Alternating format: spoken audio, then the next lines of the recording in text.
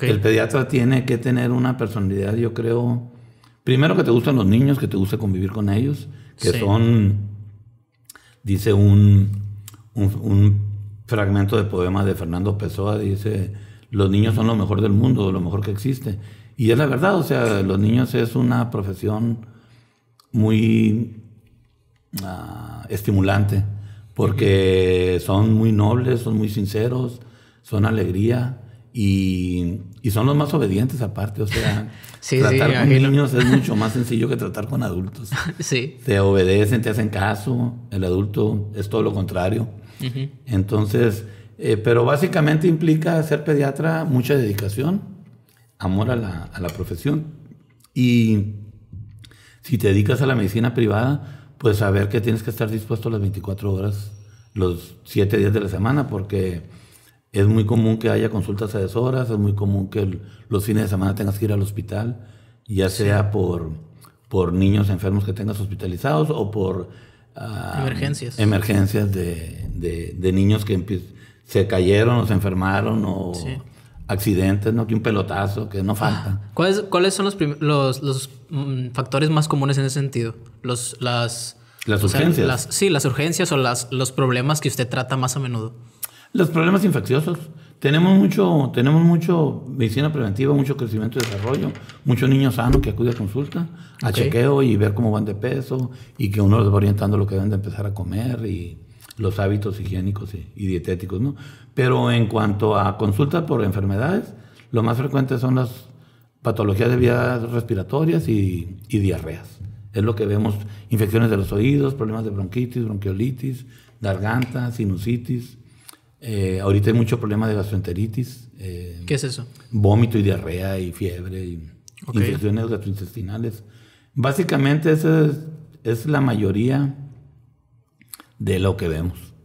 Eh, yo cuando bromeo con mis hijos les digo, ahí les encargo el celular, si suena, recetan tempra y suero pedialite y, y con eso resuelven todo. es, una broma, pero también ah, ejemplifica que casi la mayoría de las cosas que vemos son cosas benignas, afortunadamente. Sí. Y que tenemos la gran ventaja de que la mayoría se curan solas y, y uno nomás es un poquito coach en, en tratar de calmar los ánimos de los papás que no se desesperen mucho de, que, de que los chamacos de cualquier modo, con pediatras o sin pediatra, salen adelante. ¿Y, ¿Y cómo es de diferente el tratar el de dar como que esa orientación a, a uno, de un adulto a un niño. Porque muchas veces, bueno, no sé desde qué edades se tenga que estar ahí como que caucheando o, o analizando al niño. O sea, que... Porque muchas veces ni siquiera pueden hablar. O sea, ¿cómo, ¿cómo se establece un, un rapport, por ejemplo, en ese sentido? Sí, es, es parte del, de la, del conocimiento, ¿no? Normalmente, pues uno ve al niño desde que nació. Eh, generalmente el primer año de vida es consulta mensual. Ah, cada quien de acuerdo a sus posibilidades. Hay familias que, que, van solo cuando se enferman porque no, no hay posibilidades para más. Hay familias que van cada mes a, llevar a su, a su bebé. Y en la medida que el bebé va creciendo, pues uno se va haciendo como parte de la familia. Vas formando un vínculo. Sí, te vuelves como un aliado, ¿no? Sí, con... Eh, y luego hace uno defensor de los niños, pues y a veces le queda uno mal a la familia porque quieren que uno los amenace y, hey, dile que lo vas a inyectar. No, ni más. sí, sí. Aquí no hay inyecciones. sí. Eh, pero se va uno haciendo como aliado de los niños y, y como parte de la familia termina llevando una relación que yo creo que es una de las virtudes que todavía tenemos en nuestro medio mexicano, ¿no? Que a diferencia de, del medio en Estados, Unidos en el cual ya la relación médico-paciente básicamente se ha perdido, el asunto es mucho más comercial. Más frío. Más frío y más negocio. Entonces, eh, y eso lo de, está sujeto a que haya más demandas y más problemas legales por lo mismo que se ha perdido la relación médico-paciente. Ese pacto, ¿no? Sí. Ese pacto de humanos. Exactamente. Y en nuestro medio todo, uno termina haciéndose amigo de los papás, confidente de los papás, y hay una relación más estrecha y puede uno hasta cierto punto ser más confiado en no tomar. Por ejemplo, vas a un doctor a Estados Unidos y por temor a que lo demanden, el médico te puede mandar chorrocientos estudios y 20 mil radiografías para que no digan si pasa algo que no lo Que no lo atendió bien. Estudiaste, que no lo atendiste adecuadamente. Y aquí en México, a veces, eh, la mayoría de veces no mandas a hacer estudios para no hacer los Sí, no ni- nomás en pediatría, en, en, en, la en mayoría, medicina en exactamente.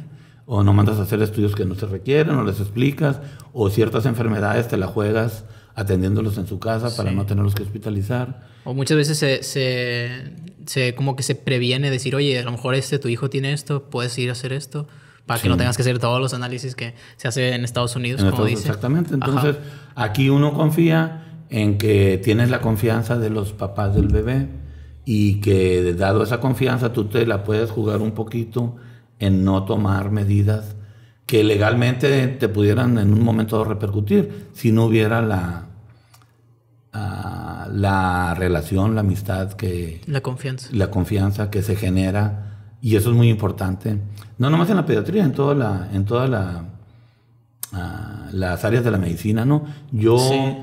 creo con tantos años en esta profesión y toco madera porque nunca uno todos estamos expuestos en cualquier momento a, a regarla o a Ajá. equivocarte o a, A ser cancelados. Sí, exactamente, y que te puedan meter una demanda. Sí. Pero creo que la mayoría de los problemas que existen en cuanto a relación médico-paciente es por falta de información, porque uno no se toma el tiempo de explicarles a los pacientes eh, la enfermedad, en qué consiste y los medicamentos, cuál es su función y cómo debe de, cómo debe de tomarse, pues, ¿no? Entonces, Sí. si uno explica detalladamente el origen de la enfermedad, las causas, eh, la evolución, lo que va a pasar, lo que pueden esperar, El tratamiento. el tratamiento a llevar, eh, Sí. es más difícil que pueda uno tener inconformidad. Aunque, insisto, todos nos equivocamos, todos de repente nos resbalamos, metemos la pata. Sí. Eso todos los doctores lo sabemos.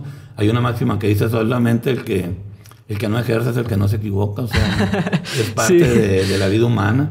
Pero, pero eso nos ayuda mucho en evitar problemas legales. ¿no? Sí, pues me imagino.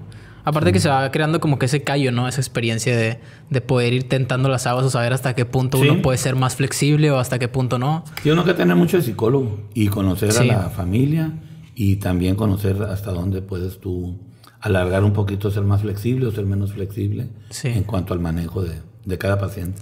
Y no es como muy duro o, o extraño sentir que tú llevaste el inicio, por ejemplo, viste a un niño crecer y de repente pues ya no, no forma parte de la vida de uno, ¿no? Ya uno Ah, tiene pero- que verlo a partir. Pero somos abuelos ahora. o sea, Somos se, sigue estableciendo ese vínculo por la eternidad. Bueno, no por la somos eternidad, abuelos. pero Por la eternidad. Quisiera una eternidad. Sí, sí. Pero iba a ser muy aburrido, mejor así como estamos. Pero Sí. sí. tenemos un vínculo muy frecuente que, perdón, que es muy frecuente que niños que yo vine a hacer ya tienen hijos y Sí. siguen acudiendo a consulta con sus hijos. Pero aparte de muchos... usted? Sí, al consultorio. Aparte de muchos que ellos si se enferman, aunque ya tengan 30, 30 y tantos, eh, también van al consultorio a... Cuando son cosas sencillas, ¿no? Que la garganta, Sí. que un oído, que, que son cosas eh, que no son complicadas eh, fuera del área de uno como pediatra, ¿no? Entonces, sí eh, conservamos mucho el vínculo. Veo mucho, mucho paciente que me dice, doctor, no se acuerda de mí, que, que llevan a sus hijos. Sí. Usted me atendía cuando yo nací, cuando estaba chiquito, usted me atendía. Ahora traigo a mi bebé. Entonces el vínculo eh, Permanece. ¿no? Exactamente. Que yo no me acuerdo de usted por alguna razón. ¿Qué pasó ahí? ¿Te acuerdas tú? No. Ah, bueno. Te llevaban poco. me abandonó. no, pero yo sí me acuerdo muy bien de tu mamá. Me acuerdo cuando- cuando iba así.